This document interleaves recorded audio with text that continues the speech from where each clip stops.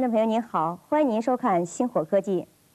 在今天节目里呢，我们将向大家介绍几种环保方面的新技术。本期的星火之光向大家介绍科技创新带动西部企业发展。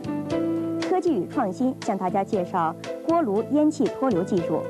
环保与科技介绍生物法污水处理技术。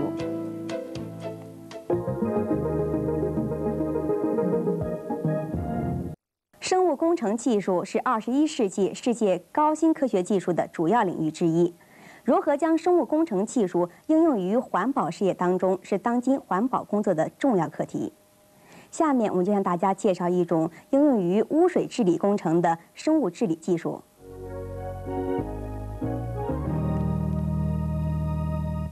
水污染已经对我国的生态环境可持续发展造成严重威胁，同时也威胁着人类的健康与生存。治理水污染是当今环保工作的重要课题之一。如何利用高科技技术减少污水处理的投资和运行费用？如何利用现有的污水处理厂的处理设施设备，提高其处理效果，降低造价和运行成本，是各级政府关注和探寻的问题。众所周知，我国各城市的河流因河水流动性大、变化大。采用常规的人工和机械疏通河道都不能根治河流的污染问题，而海南省海口市大同沟银河路段的污水治理生产性实验却令许多关注者耳目一新。治理工程由香港联保实业有限公司承担，在治理现场，除了循环喷水装置外，没有大规模的设备。治理人员每天一次性定时定量向生化区投入固体菌剂和液体助剂。治理六十天后，海口市环境监测站连续监测数据表明，大同沟银河路段的水质已达到地表水环境质量标准四类水标准要求，污泥仅为治理前的四分之一。河水清澈透明，原来的臭水沟里现在已放养着二百多条红鲤鱼和红金鱼，已存活了四个多月。那么是什么方法既不需采用大量的设备，又能达到如此良好的治理效果呢？这就是香港联宝实业有限公司的高科技生物工程技术 WTFG 生物法污水处理技术。我们公司为了在污水处理走出一条投资少、见效快的路子。最近几年，我们研究出了具有世界先进水平 WFG 生物法。这个方法具有四大特点：第一，不用污泥，用固体的微生物，针对性很强，效果很好；第二，爆气方式用主要用 FG 二十一，不用传统的爆气设备；第三，具有投资少、见效快的特点；第四，没有第二次污染，没有新的活性污泥产生。我相信，一个对国家有利、对人民有利的高新技术，一定会在中国生根、开花、结果。治理人员往河里撒放的就是这项技术的关键 ——WT 十二固体微生物菌剂和 FG 二十一液体专用助剂。WT 固体微生物具有高浓度组合的特点，他们已经掌握了一千二百种微生物。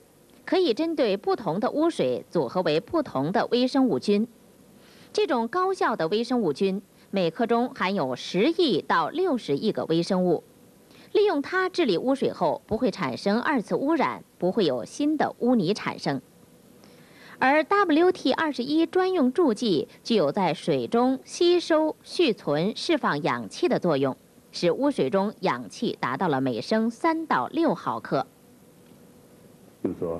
对于海南这么一个特定的地方啊，用微生物处理技术来处理这个这个呃生活污水，以及处理这将来要发展到其他的污水处理，应该具有非常开阔的前景。